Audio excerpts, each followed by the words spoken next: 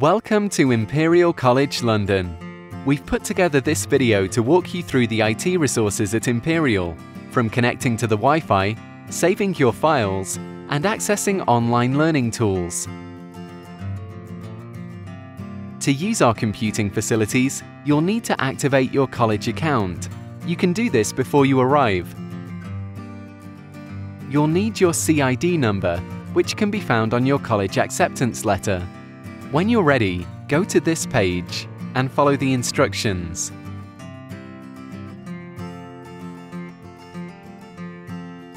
Now that you have your username and password, you'll be able to access the college network.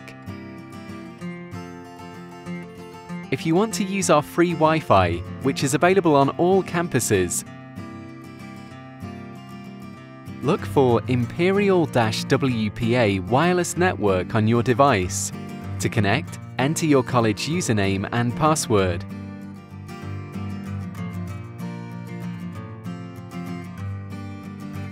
If you're staying in halls, then you'll need to connect to the network using an Ethernet cable.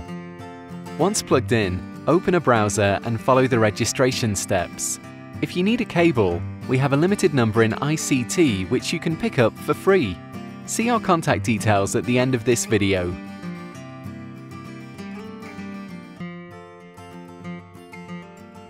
We provide Wi-Fi in the public spaces in halls so that everyone can benefit. It's important that you don't connect your own wireless router. Log into Microsoft Outlook with your username, followed by at ic.ac.uk and your college password to access your emails. To access your academic timetable online, search Timetabling on the college website or download the Imperial mobile app. The app also allows you to access your emails, library account information, campus maps, and much more. Remember to opt into push notifications to receive alerts from the college.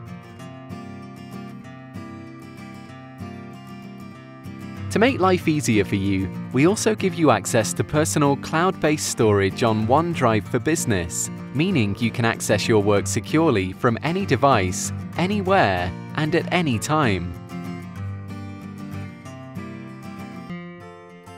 We use Blackboard to store learning material online.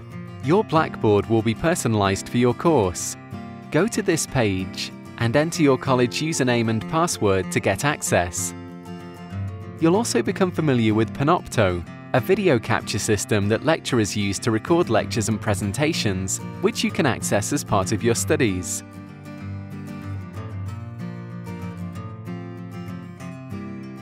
Imperial has a free online streaming service called the Software Hub, where you can access most software.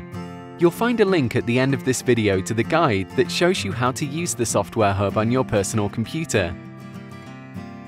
As an Imperial student, you can download Microsoft Office 365 for free on up to five personal devices. You'll find lots of helpful videos on Office 365 in our ICT Support YouTube channel.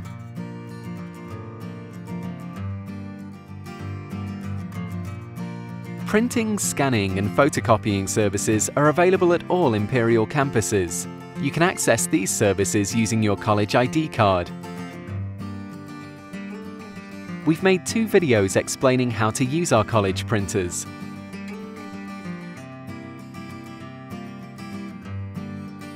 We need you to take care to protect yourself and us when using our computers and devices. This will reduce the chances of your college or personal information being hacked. The easiest way to do this is to use secure passwords, avoid opening attachments from unknown sources, and delete spam emails. For more information, visit the website and watch our short videos on how to set and remember passwords. And if you're ever unsure of any communications you receive, you can contact the IT Help Desk for advice so now you should have a pretty good idea of most of the IT resources that are available. You'll find more helpful ICT support videos on our YouTube channel. including a video that walks you through our compulsory online registration, which must be completed before you arrive. For more information, visit our website.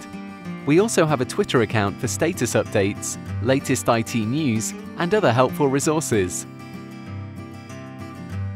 Remember, if you do have a technical issue, we're always here to help. You can contact us online, on the phone, or in person using these contact details. We're open from 8.30am to 6pm, Monday to Friday.